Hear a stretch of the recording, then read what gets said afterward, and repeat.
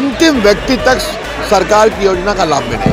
Bank के लोग हैं इंडियन ऑयल कॉरपोरेशन के लोग हैं कॉरपोरेशन के लोग हैं। देखिए माननीय मोदी जी ने अपने शासनकाल में जो निर्णय लिए जन कल्याण के गरीब कल्याण के जितने कार्यक्रम तय किए हैं। सुदृढ़ करेंगे।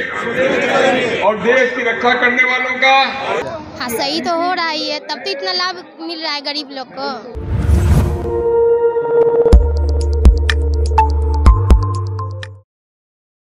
नमस्कार आप देख रहे हैं ससाटो मैं देवेंद्र सिंह लड्डू इस वक्त मैं पटना सिटी के पटना नगर निगम अंचल, पटना सिटी का जो कार्यालय है, वहाँ। यहाँ का कैंपस देखिए तो काफ़ी उत्साहित रूप से लोग हैं। ये तमाम है।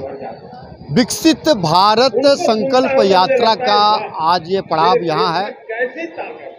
लाभार्थियों के बीच में तमाम राजनेता लोग एकत्रित हुए हैं। इस मौके पे भारतीय जनता पार्टी पटना साहिब के सांसद रविशंकर प्रसाद पूर्व मंत्री पटना साहिब के विधायक नंदकिशोर यादव जी पूर्व मंत्री निति, नितिन नवीन जी नवल किशोर राय जी साथ ही तमाम भारतीय जनता पार्टी के कार्यकर्ता इष्ट मित्र और इस क्षेत्र के जो भी वार्ड पार्षद है वो भी है। इस मौके पर पटना नगर निगम की मेयर श्रीमती सीता साहू जी उपस्थित है।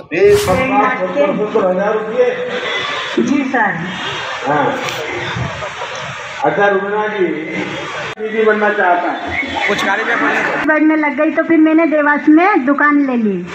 क्या दुकान खोल ली मैंने कपड़े की? इसमें जो जो जो सैनिटाइजर मास्क और आपने पीपी किट में ये बनाना है। क्या चलिए आइए दूसरा कोई।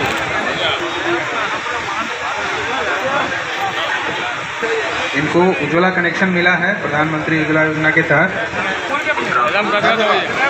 सर मैं बताना चाहूँगा अभी तक हम लोग चलिए हो गया।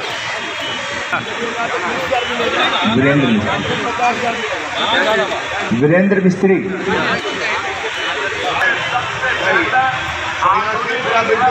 sir M S M S Prakash traders union bank Bharat को दो तक आत्मनिर्भर और विकसित राष्ट्र बनाने के सपने को साकार करेंगे। गुलामी की मानसिकता को जड़ से उखाड़ फेंकेंगे।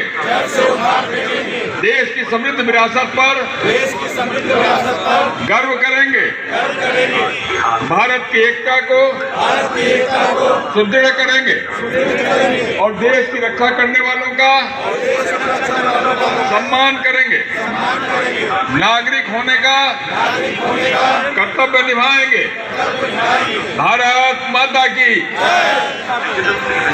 ये प्रधानमंत्री के हम लोग दूध के रूप में आए हैं। मोदी जी की गारंटी ज़मीन पर उतरे, ये हम लोग देखने के लिए आए हैं। सांसद के रूप में, विधायक के रूप में। आप देख रहे हैं गरीबों के लिए। उज्ज्वला योजना, बैंक योजना, मुद्रा योजना गरीबों को मिल रहा है। तो अच्छी बात है, ये मोदी जी सरकार इसी प्रकार से काम करती है, ताकि अंतिम व्यक्ति तक सरकार की योजना का लाभ मिले।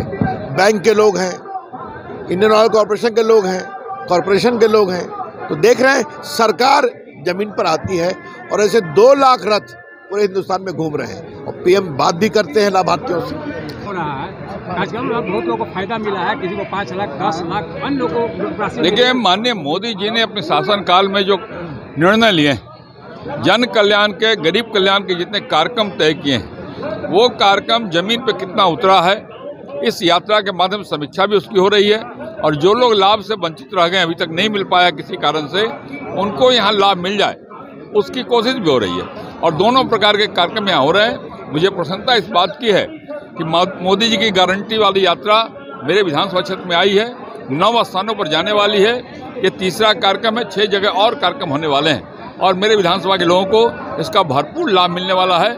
मैं सबसे अपील भी करता हूँ कि जो इन योजनाओं से वंचित हैं, वो इस शिविर में आएँ और उसका लाभ उठाएँ। देखिए, समृद्धि सामान्य लोगों के दरवाजे तक पहुँच रही है।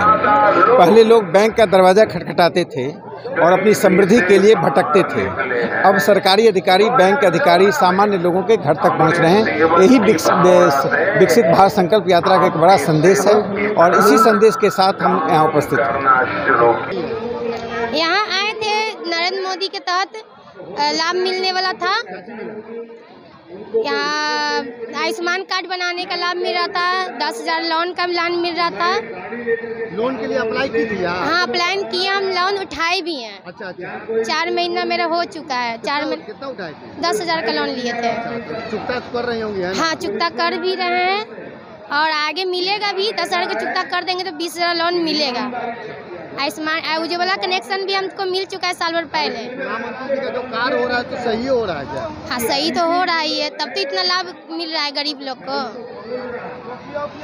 और तमाम लोगों को यूँ कह सकते हैं कि पटना सिटी वासियों को लेके बेहतर सौगात मिले। और यहाँ पर जब बात किए हैं तो पटना साहिब के विधायक नंदकिशोर यादव जी ने इसी बात को दोहराएँ ऐसा साइट आप देखते रहिए लाइक कीजिए।